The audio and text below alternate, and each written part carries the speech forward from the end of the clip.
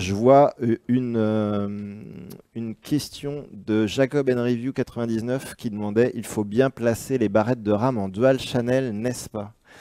Alors, qu'est-ce que le dual channel? Parce que je vois, je vois Sylvain opiner du chef et dire oui, il faut bien placer les barrettes de RAM en dual channel, mais il y a peut-être pas mal de personnes qui ne savent pas ce qu'est le dual channel.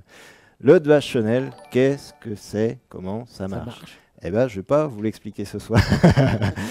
non, c'est mon premier PC, mais on peut quand même je, vais faire expliquer rapidement la chose. Non? Je vais faire très simple. En fait, euh, vous avez des, des, barrettes de RAM euh, qui fonctionnent en dual channel, des barrettes de, de RAM qui, fonctionnent en, qui ont fonctionné en triple channel, parce que maintenant, c'est plus euh, commercialisé, et vous avez des barrettes de RAM qui fonctionnent en quad channel. Euh, en fait, ces petits mots dual channel, quad channel, c'est juste pour dire que euh, en fonctionnant à deux barrettes mémoire plutôt qu'une, euh, vous allez avoir une amélioration des performances bah parce que la, mémoire va, va, va, mieux fonctionner. Et pareil pour les quad channel, ça va fonctionner mieux à quatre barrettes que la même quantité de mémoire en une barrette. J'ai bon dire, à deux, c'est mieux. À 2, c'est mieux. Et pour les quad channel, à 4, c'est mieux. Et donc, euh, euh, les configurations, la plupart des cartes mères actuellement et la plupart des mémoires fonctionnent en dual channel actuellement. Euh, et c'est pour ça qu'on a placé deux barrettes de 4 Go. Ouais. Je, non, c'est des 8 Go, mon cher. Deux barrettes de 8 Go. C'est des Corsair Vengeance DDR4, évidemment. On est sur la DDR4 aujourd'hui. Oui. Pour faire rapide, c'est la dernière génération de mémoire. Si vous devez faire votre premier PC, c'est de la DDR4 qu'il vous faut prendre. Euh, j'en profite juste pour préciser, parce que je sais qu'il y en a qui auront l'œil extrêmement pointu. Euh, sur ce genre de configuration, on, conseille de mettre des barrettes qui ont une fréquence à 2933. Là, pour les besoins du live, on a, on a mis du 2666. Euh, parce que les barrettes, comme tu le dis, fonctionnent par paire sur des fréquences. Et donc là, on a choisi ça. Voilà. Et en fait, euh, la, fréquence, là aussi, on touche à quelque chose d'un petit peu euh, technique, mais euh, plus la fréquence de la mémoire est élevée, plus la mémoire est performante. Maintenant, le processeur fonctionne avec une certaine fréquence de base. et nous, nous conseillons de prendre les barrettes de RAM avec une fréquence équivalente à celle de la fréquence du processeur, la fréquence nominative.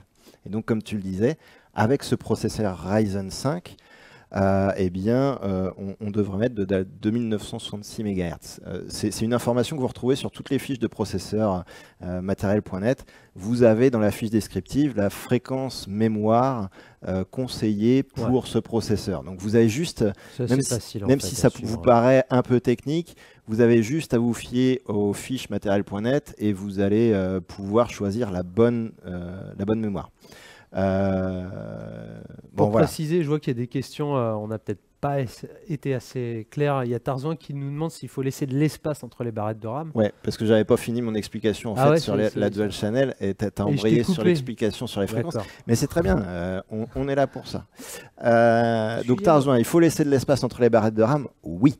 parce qu'en fait, justement, le fonctionnement en dual channel va nécessiter que euh, on dise à la carte mère, bah, ces deux barrettes mémoire-là vont fonctionner ensemble. Et sur les deux autres, il n'y a rien. Et si on met des mémoires, ces deux-là vont fonctionner ensemble. Et donc, euh, oui, en dual channel, euh, généralement, on met sur les ports, alors ici, c'est les ports 2 et 4 c'est ça? Voilà, et effectivement, vous laissez un, espace entre les barrettes, et ça dit à la carte mère, ces deux barrettes-là fonctionnent en même temps. OK? Euh, Alors ça, euh, ce que je viens de faire est assez fort puisque euh, bah, j'ai l'impression que vous êtes dans la pièce, cher viewer. ils sont là, ils te regardent tous. Donc je vous demandais validation, savoir si vous avez bien tous compris. Alors je vous demande d'opiner du chef devant votre écran et puis de me dire si vous avez bien compris. A priori, oui.